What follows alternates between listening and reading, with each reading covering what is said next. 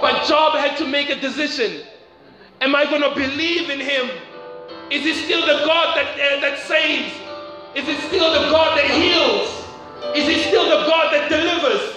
Is he still the God that provides? And sometimes we need to make a decision.